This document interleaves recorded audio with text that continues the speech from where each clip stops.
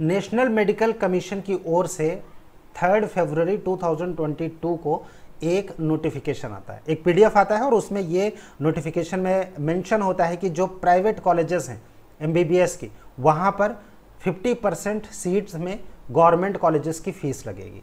2022 से इम्प्लीमेंट भी होने वाला है। इसके बारे में कई सारी न्यूज़ मीडिया में प्लस जो सोशल मीडिया है, वहाँ पर सर्कुलेट भी हो रही है। बहुत सारे स्टूडेंट्स और पेरेंट्स का मानना है कि 2022 में जो प्राइवेट कॉलेजेस है, वहाँ पर 50 परसेंट की सीट्स में गवर्नमेंट के बराबर फ़ीस लगेगी। सिर्फ़ तीस हज़ार, चालीस हज़ार, पचास हज़ार में एडमिशन हो जाएगा और वहाँ पर मार्क्स भी कम लगेंगे, जैसे कि पहले लगता था। गाइज़ क्या वाकई में ऐसा होने वाला है? क्या 2022 में ये रूल लागू होगा?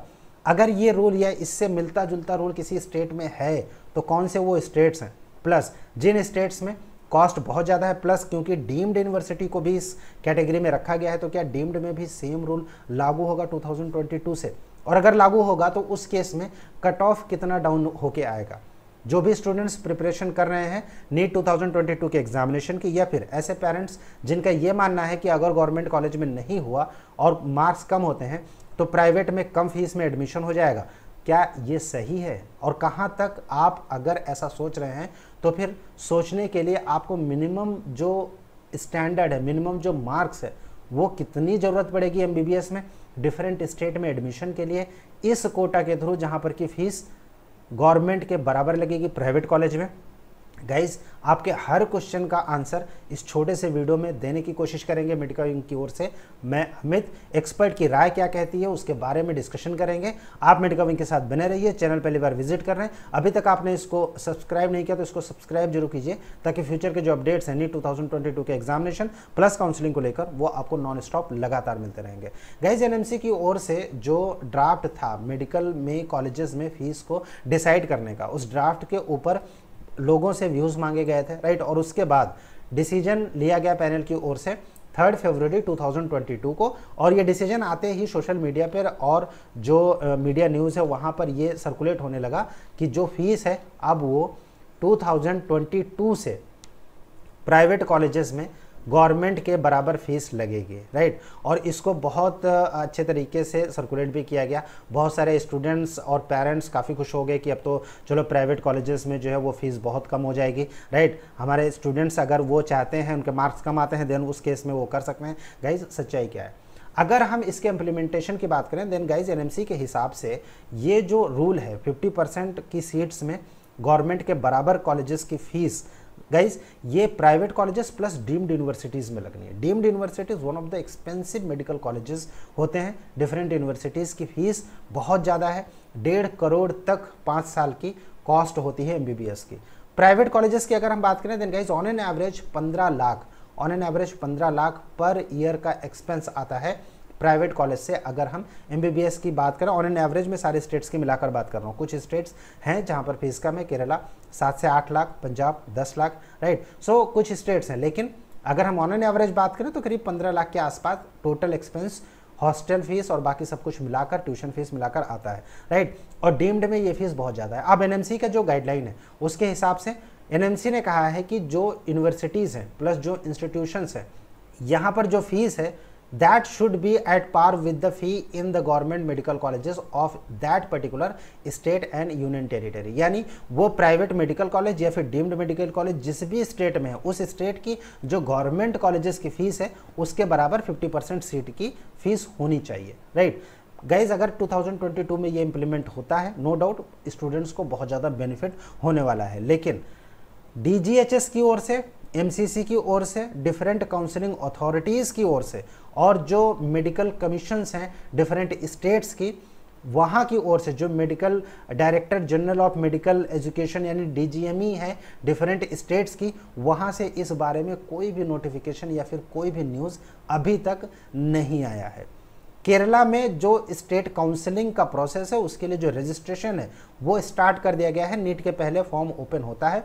आईपीओ का फॉर्म ओपन है और जो कर्नाटका स्टेट है, वहाँ का भी फॉर्म ओपन है, वहाँ के स्टूडेंट्स अप्लाई कर रहे हैं राइट और अगर हम इन तीनों स्टेट्स की बात करें, दिल्ली, केरला और कर्नाटका, यहाँ पर जो ब्रॉशर रिलीज़ किया गया है 2022 के लिए, उस पर फ़ीस को लेकर, जो मेडिकल कॉलेज की फ़ीस है, उसको लेकर कोई भी डिक्लेरेशन या फिर कुछ भी अभी नहीं बताया गया है। 2022 में ये इंप्लीमेंट होगा ये तब तक श्योर नहीं कहा जा सकता जब तक कि किसी स्टेट काउंसलिंग अथॉरिटी की ओर से या फिर डीजीएचएस की ओर से फ़ी फिक्सेशन की रिपोर्ट नहीं आ जाती डीम्ड कॉलेजेस के लिए और प्राइवेट मेडिकल कॉलेजेस के लिए। सो so, ऐसे स्टूडेंट्स जो ये सोच रहे हैं कि फ़ीस कम हो जाएगी गाइज़ और अगर उस हिसाब से आप अपनी प्रिपरेशन में थोड़ा सा ढील दे रहे हैं कि हमारे मार्क्स अगर 10 नंबर कम आ गए तो चलेगा या 20-50 नंबर कम आ गए तो चलेगा हमारा एडमिशन ऐसे हो जाएगा। गाइज़ इस गलत फहमी में मत रहिए।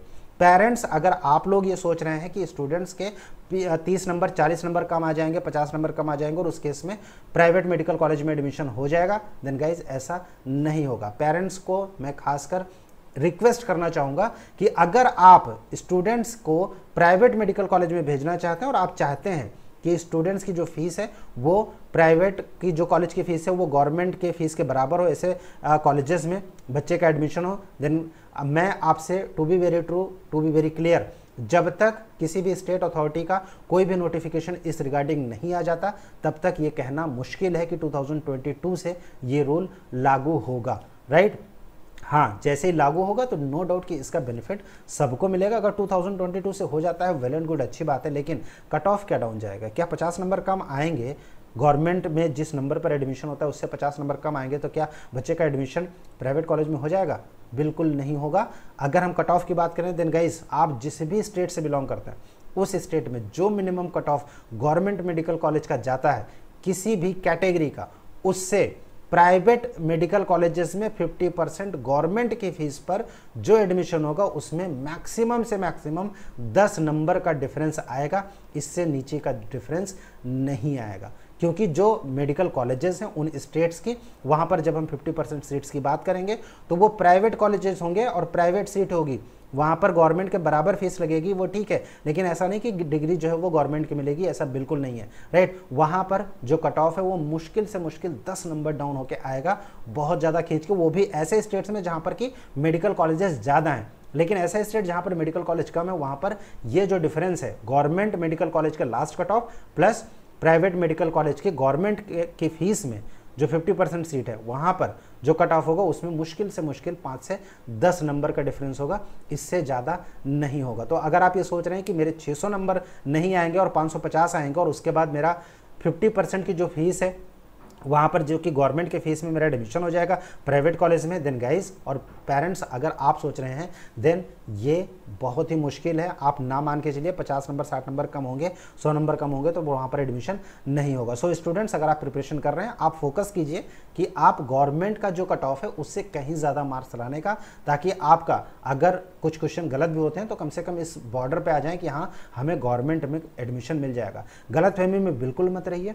नोटिफिकेशन जब तक किसी भी स्टेट अथॉरिटी का नहीं आ जाता एमसीसी की ओर से या फिर डीजीएचएस की ओर से डीम्ड कॉलेजेस के लिए नहीं आ जाता, या फिर किसी डीम्ड कॉलेज का नोटिफिकेशन फ़ीस के लिए 2022 का नहीं आ जाता गाइज़ इस बारे में श्योर मत रहिए कि 50 परसेंट सीट में जो एडमिशन्स है वो गवर्नमेंट के बराबर फ़ीस लगेगी। वैसे मेडिकल विंग की जो टीम है, उनका यही मानना है कि इसकी पॉसिबिलिटीज़ बहुत कम है। कुछ एग्जाम्पल्स हम आप लोगों के साथ शेयर करना चाहेंगे। कर्नाटका प्राइवेट कॉलेज में जो गवर्नमेंट कोटा होता है, फ़ीस बहुत कम है, सिर्फ़ डेढ़ लाख रुपए।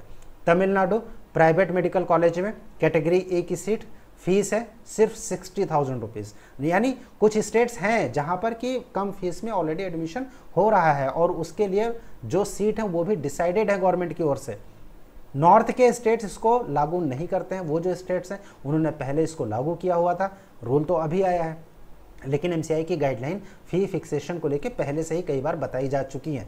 राइट 50 परसेंट की जो सीट्स हैं डीम्ड के लिए फ़र्स्ट टाइम ये इसको नोटिस में लाया गया है। राइट और एनएमसी ने इसको कहा है, लेकिन स्ट्रिक्टली 2022 से हर कॉलेज में, हर मेडिकल कॉलेज में ये चीज़ पॉसिबल होगा, हर स्टेट में पॉसिबल होगा। गाइस मेडिकल की टीम को ऐसा नहीं लगता, फ़िलहाल। अगर ये लागू होता है तो बहुत अच्छी बात है, सबका बेनिफिट होगा। लेकिन हाँ कट ऑफ़ बहुत नीचे नहीं आएगा। 10 नंबर का मैक्सिमम अंतर किसी भी कैटेगरी के लिए गवर्नमेंट से प्राइवेट कॉलेज में, जो गवर्नमेंट की सीट है, जहाँ पर की फ़ीस गवर्नमेंट के कॉलेज के बराबर की लगेगी। जैसे ही कोई नोटिफिकेशन एमसीसी की ओर से डीजीएचएस की ओर से, या फिर जो डिफरेंट स्टेट काउंसिलिंग है, उनकी ओर से फ़ीस को लेकर 2022 के मेडिकल कॉलेजेस में आएगा, इसको मेडिका विंग की ओर से अपलोड किया जाएगा ताकि आपको एक प्रॉपर इन्फॉर्मेशन मिलती रहे। आप मेडिका विंग के साथ बने रहिए चैनल पहली बार विज़िट कर रहे हैं तो फिर आप इसको सब्सक्राइब ज़रूर कीजिए। कुछ पूछना चाहते हैं, कोई क्वेरी है, आप हमें कमेंट बॉक्स में, कमेंट में पूछ सकते हैं या फिर स्क्रीन पर जो नंबर शो रहा है, इस नंबर पर आप हमें व्हाट्सअप भी कर सकते हैं। डाउनलोड कीजिए मेडिका विंग का ऐप अवेलेबल है गूगल प्ले स्टोर पर। अगर नीट 2022 की काउंसलिंग के लिए एक्सपर्ट की गाइडेंस चाहते हैं, या फिर ऑल ओवर इंडिया के स्टेट्स के जितने भी मेडिकल कॉलेज हैं, उनकी कट ऑफ़ 2020 और 2021 की पीडीएफ के तौर पर डाउनलोड करना चाहते हैं तो आज ही डाउनलोड कीजिए मेडिका विंग का ऐप अवेलेबल है गूगल प्ले स्टोर पर। Thank you for watching Medica Wing thanks a lot